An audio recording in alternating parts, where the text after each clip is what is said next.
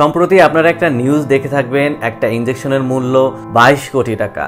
এই নিউজ দেখে অনেকেই অবাক হয়েছেন আরও বেশি অবাক হয়েছেন যখন শুনেছেন এত দামি ইঞ্জেকশন একটা শিশুকে বিনামূল্যে দেয়া হয়েছে।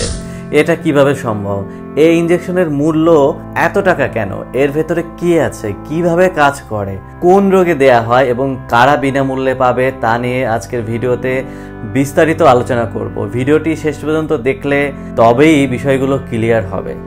স্পাইনাল মাস্কুলার অ্যাট্রফি একটি বিরল ও জটিল স্নায়ু রোগ, যা জন্মগত, জিনগত ত্রুটির কারণে এ রোগ হয়ে থাকে।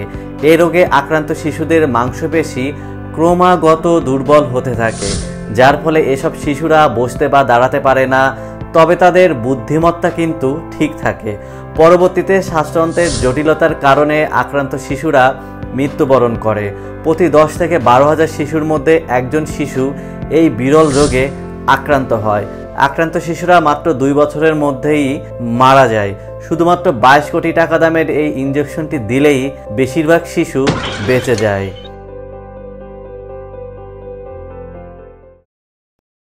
দু হাজার উনিশ সালে আমেরিকান একাডেমি অফ পেডিয়াট্রিক্স একটা গবেষণাপত্র প্রকাশ করে, যেখানে বলা হয় শিশু মৃত্যুর পেছনে এ রোগের যথেষ্ট ভূমিকা রয়েছে। স্পাইনাল মাস্কুলার অ্যাট্রোফি এটা সাধারণত চার ধরনের হয়ে থাকে, যেমন type one, type two, type three এবং টাইপ ফোর। যত তাড়াতাড়ি রোগ ধরা পড়বে এবং যত তাড়াতাড়ি চিকিৎসা শুরু করা হবে, বাঁচার সম্ভাবনা ততই বেশি। এ রোগের চিকিৎসা হিসাবে দু হাজার উনিশ সালের মে মাসে এক ধরনের উন্নত প্রযুক্তির জিন থেরাপিকে অনুমোদন দেয়া হয়, যেখানে একটিমাত্র ইঞ্জেকশনের মাধ্যমে শিশুর শরীরে ঢুকিয়ে দেয়া হয় জিন। এই জিন কিন্তু ওই জিন না।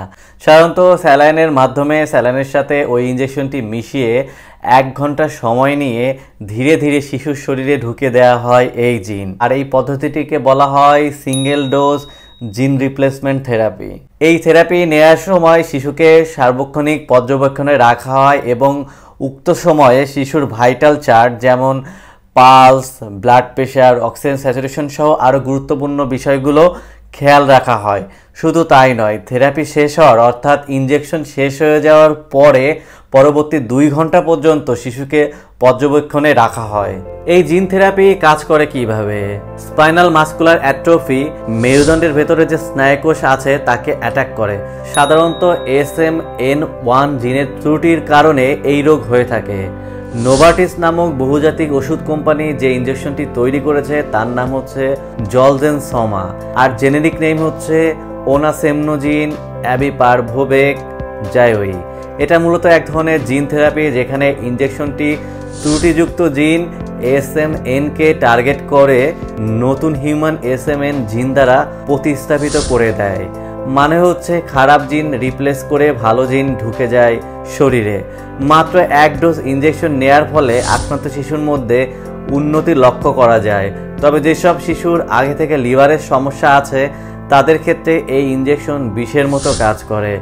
দু হাজার বিশ সালে এক থেকে তেইশ মাস বয়সী একুশ জন শিশুর উপর এই জিন থেরাপি প্রয়োগ করা হয় এবং ভালো ফলাফল পাওয়া যায়।